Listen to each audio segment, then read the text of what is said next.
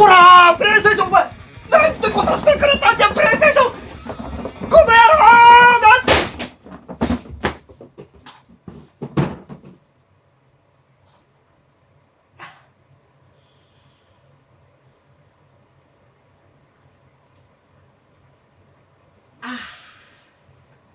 とんでもないことしてくれた。と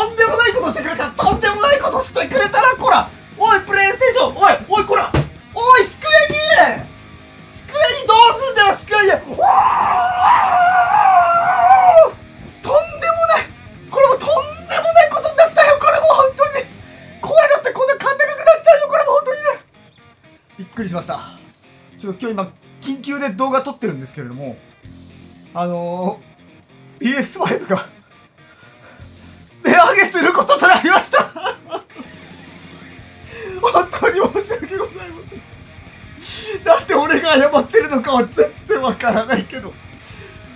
もうねいやね PS5 発売されてだいぶ時間経ちましてさいやね来年にはモンハングラセフ発売されるっつうんで。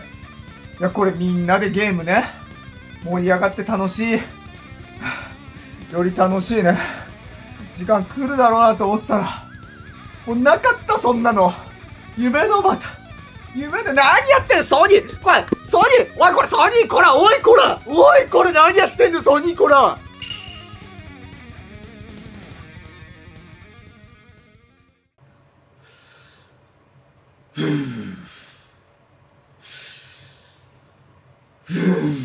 ちょっと落ち着こうよ。ね。PS5 の本体が、いや、周辺機器も含めて、まるまる全部値上げの報告が、まあ、電話できました。プルルって。あ、刑事チャンネルですか？あ、もしもし、誰ですか？ソニーです。え、ソソニーさんですか ?PS5 値上げすることにしました。で、今に至ります。あ、全部嘘です。あ、いや、値上げは本当です。値上げ、値上げはマジなんですよ。電話が来たくだりは嘘です。まあ、刑事チャンネルとソニー、いくらズブズブの中とはいえ、ちょっとそこまではなかったんだけど、いや、この値上げがしかもね、クソデカなんだよね。マジびっくりしたわ。ちょ、びっくりした。ちょっとあのー、一旦 PS ブログ見ていこう。一旦 PS ブログ。ちょっとほんとデカビタ飲んでいい？一旦。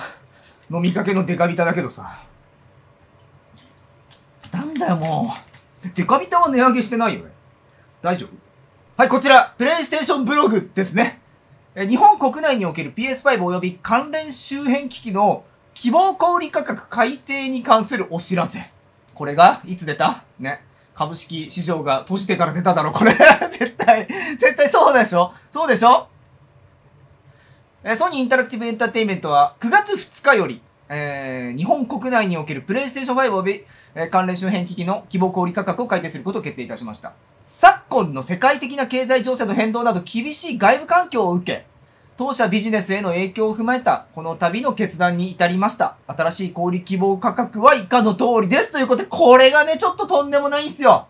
これがすごいことになっておりまして、えーとですね、まず PS5 本体が79,980円。8万円です !8 万円 !8 万円だよみんな !8 万円のゲーム機ですよいや、8万円って大変なことよねもし誰かから急に、はい、8万円あげるって言われたらとんでもないビッグサプライズよねうわー何買おうってなるよねところがだよゲーム機で8万円使うってなったら買えねえよ誰が買うんだよそのゲーム機高すぎだろが今までが66,980円だったので、1万3000円の値上げとなっております。えっと、前に値上げした時って、あれだっけ ?5000 円ぐらいの値上げだったのか。うんとね、2022年に値上げしてるんですよね。その時は5500円の値上げだったということなんで、合計18,500円の値上げが実施されたことになりますね。せいせいこれにはやっぱりちょっと驚きですよ。で、これ通常版の PS5 だけではなくて、もちろんデジタルエディションも同じく1万3000円の値上げとなっております。で、周辺機器も値上げするってなってるんですよね。えっ、ー、とね、PS ブログにはちょっとあの、この後、えっ、ー、と、デジタルエディションのデュアルセンスダブルパックとか、コントローラーセットのやつとかの値段も書いてあるんだけれども、まあこれちょっとまあ同じなんで置いといて、ここから、デュアルセンスワイヤレスコントローラー。これが、えー、11,480円です。コントローラーもう12,000円近いです。は ぁね。前まではこれ9480円だったので2000円の値上げとなっております。コントローラーも以前値上げしてますから、その時はね、1700円ぐらいの値上げとなっておりましたので、まあ合計3700円ぐらいの値上げになっておりますよね。で、まあ PS ブログにはたくさんの商品がずらっと並んでますが、要はま全部コントローラーです。コントローラーの色違いとかです。で、コントローラーの色によってはちょっと高いのがあるんですよね。この、ボルカニックレッドとか、スターリングシルバーとか、コバルトブルーとか。コバルト、ここ、こ、コバルトブルーって。なのでちょっと値段が違うものがあったりしますよと。で、コントローラー以外にも、リモートプレイヤー。えー、PS ポータルリモートプレイヤー。これ34,980円です。元は29,981円だったので、えー、5,000円ぐらいの値上げですね。5,001円です。これですよ。これこれ。ね。なんで微妙な角度なのって。ここにね、モニターが反射しちゃって映っちゃうから。その、今ちょっとエッチなのも開いてるから それが反射したらここにモザイクかける羽目になるの。だから反射しない角度でやってます。かっこいいよ。格ゲーのキャラみたいじゃん。言ってる場合じゃないんだよ、本当に。これあったら本当に便利なんだよね、今の私の生活にはさ、その、まあ、子供もいるから、なるべく家族一緒の時間っていうのを増やしたい中で、でもゲームもちょっと進めなきゃ、動画作れねえぜみたいな時に、これでやったりするのよ。レベル上げだけやっとくとかさ。ね、エルデンリンクなんか本当お世話になったよね、これね。こんな便利な代物が、34,980円って。もうスイッチ買えよ、もうスイッチをよ。スイッチでいいよ、もうそんなんだったらもう。えー、そしてパルスエクスプローラーワイヤレスイヤホン。パルスエクスプローラーワイヤレスヘッドセット。それぞれ、えー、値上げとなっております。イヤホン5000円ぐらい。ヘッドセット4000円ぐらい。ディアルセンスエッジも高くなります。5000円ほど。あー、マジか、もう、4、5000円ガンガン高くなるね。マジで ?PSVR2 は別に誰も買わないから、いくらでも値上げしていいよね。なんぼでも。どうせ買わないでしょ、みんなね。え、ちょっと待って、違う違う違う、待って、PSVR2 なんてさ、ちょっと前まで、海外で、なんか30%引きとかで売ってたらしいよ。なんか、イギリス、ヨーロッパの方か。確か。なんで日本だけ？おい、ちょっと、しかも結構、1万5千円だ、これ。1万5千円。あ、え、待って、PSVR21 万5千円ぐらい高くなってる。ビビったーだ、え？どうなってんすかね、マジでこれ、ほんまに。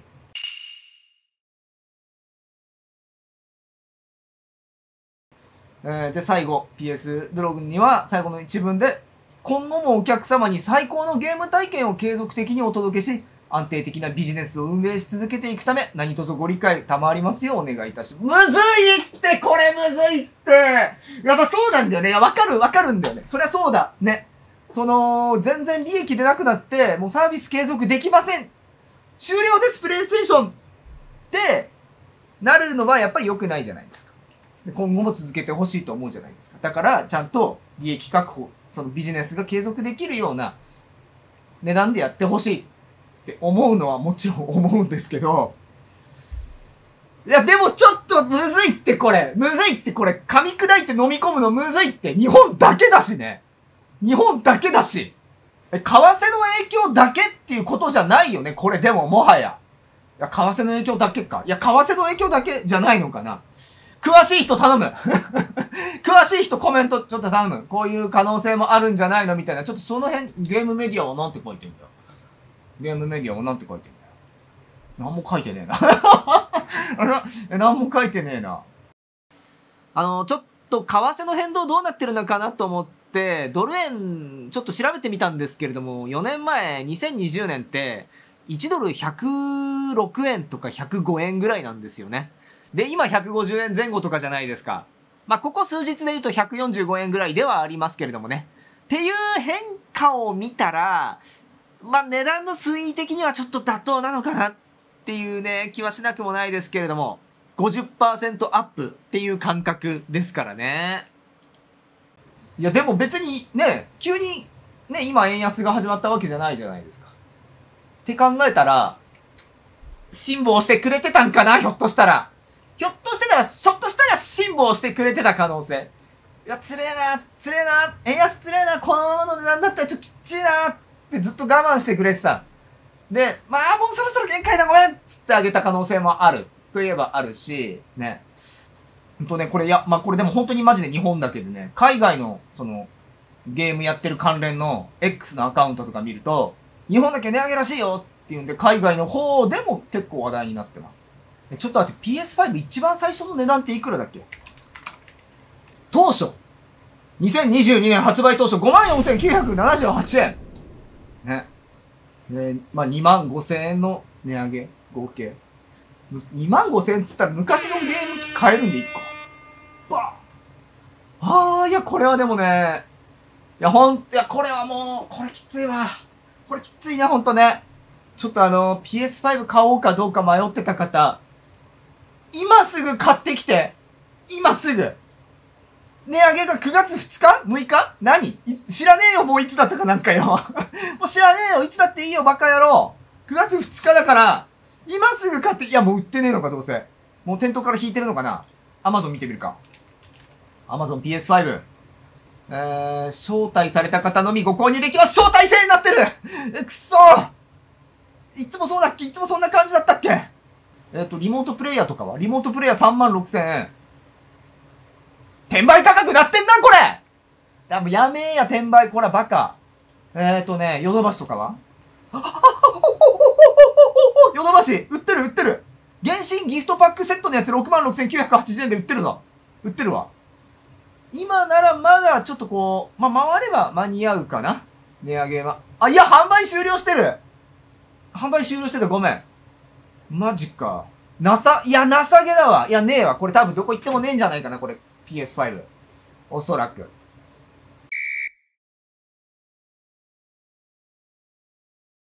えー、というわけでね。昨日私あの、そろそろ PS5 Pro の発表来るんじゃないの？わーいみたいな動画出してて、バカみたいな面してさ、アホ面下げてさ、発表されたのは値上げでした。ざっけんなとんだバカ野郎だよ、俺は。何が PS5 Pro そろそろ来るかもね。値上げが来てよ。値上げという、値上げという海賊がやってきてよ。ドドドドドッと。やめてくれ奪わないで、私たちからみたいな。本当に。いや、でもこれ、こんな言うてもしゃあないの。言うてもしゃあない。そんなもん値上げだって言われたらもうどうしようもないの。騒いだところでね、やめますともならないわけだし。ね。いや、これをなんとか切り替えるためにはどうしたらいいかって言ったら、これ1万3000円の値上げなわけですよね。じゃあ、逆に言うと、どっかで1万3000円得すれば、チャラじゃねっていう考え方も、まあ、できなくはないよね。できなくはない。いや、でも1万3000円得するなんてどうやるんですかっていう話もあるよね。それはわかる。わかります。それはまあでも、サブスクしかねえか、今だったら。PS5 のゲームカタログに加入して、PS5 のサブスクに加入して、えー、まあなんか本来買うはずのゲームを買わずに、カタログで遊ぶとか、あるいは、2、3回ちょっと飲みに行くの我慢するか。それですよね。まあ、これで、私のこうすごい有名な話なんですけど、その、買おうと思ったビデオを、サンプルだけでなんとか知って、総額10万円は得してるっていう、そういう逸話もあったりするんだよ。そういう逸話も。有名な話なんですけどね。お前サンプルだけでなんとかしてこれ10万円は得してんじゃんみたいな。全部お気に入りリストにガー入ってるけど結構買ってないよね。買う買う言ってたけど全然買わない。なんサンプル見てなんとかなってるみたいなと思って。いやでも、ソニーさん、ちょ、ソニーさん、俺ソニーさん、ソニーおい、こら、こら、聞いてんのか？こら、おい、こら、ソニー、こら。ソニー、こら、聞いてんのか？こら。ソニー、過去最高売上と過去最高益出してたよね。ちょっと待って。ちょっとごめんなさい。過去最高売上あるいは過去最高益かどうかとかっていうのは、ちょっと、調べるのめんどくさい。もう頭なんか真っ白で。調べるのめんどくさくなっちゃってるんでわかんないんですけど。でも、先日発表された、えー、今年度の第一四半期の決算は、売上大幅増収に、営業利益も大幅増益しとり漫画だ、これね。これ、日本で値上げしないとこれ全部食いつぶしちゃうっていうこと？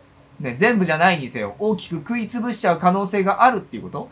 ね、でもちょっとぐらいの食いつぶしだったらそのままの値段で行った方がまだ良かったんじゃないかな。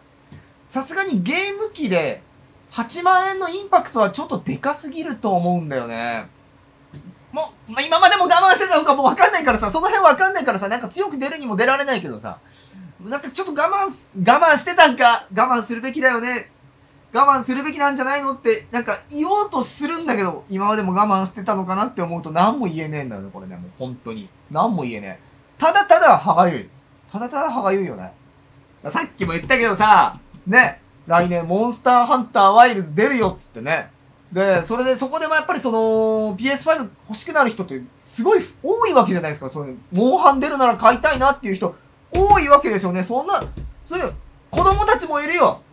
モンハン出るの？え、え、スイッチとかで出ないの？え、何 ?PS5? え、じゃあでも欲しいんだけどってなった時に、これ、8万円だよってもう親御さんに頼めないだろうが、それじゃあね。お父さんお母さん覚悟してください。いや、これね、大人だって8万円のゲーム機はやっぱりでもちょっとこれね、ビビるよね。ほい、それとは買えないよね。コントローラーもね、コントローラーも1万円はマジでかいよね。えー、いや、ま、ちょ、あそこにめっちゃコントローラー並んでんだけど、1個1万だとしたら、いや、1万円の前に買ってるからね。そんなにはしないんだけど、1個1万だとしたら、あそこに何万円並んでるんだって話になってくるよね、本当にね。恐ろしいことになったな、これね。いや、まあ、昨日も話した通りさ、そろそろちょっと PS5 Pro の話出してくるんじゃないかなとかっていうようなさなかで、これなんだよね。値上げ。あでも、この値上げっってさ、やっぱりその、インパクトとしてはやっぱりマイナスインパクトでかいじゃないですか。まあ、これを書き消すようななんか話題出してくる可能性はあるかもしれない。ね。いや、それが PS5 Pro とか、あるいはなんかプレイステーションショーケースやって新しいゲームソフトの発表とかにつなげるところかもしれませんけれどもね。いや、でもこの勢いだったら PS5 Pro なんてガチで10万だもん。だってもう、ね。マジで10万。10万超えのゲーム機っても 3DO じゃない ?3DO っていくらだっけ？バカ言ってんじゃねえよ。3DO だってそんなに高くねえよ。そんなに、えっとね、5万何がしだって。5万何 ?5 万4800円だって。うわ、それでもなんかすげえ、わ、5万4000円のゲーム機かよってちょっと思っちゃうもんね。いや、それこそ昔ね、ネオジオ。ネオジオが高かったのね。ネオジオって？高かったんだよ、ネオジオがさ。あ、ネオジオでも本体5万8000円。そう。で、ソフトが3万円くらいすんの。あれ、やばかったね。で、ネオジオの、まあ、ソフト高すぎてネオジオ手出せねえなっていう中で出てきたのがネオジオ CD だったわけですよね。まあ、ロムにすることでゲームソフトの価格一気に抑えたわけなんですよね。だから俺買ったよ、ネオジオ CD。したらね、あのー、ロード時間クソ長。ロード時間鬼、鬼ほど長いよね。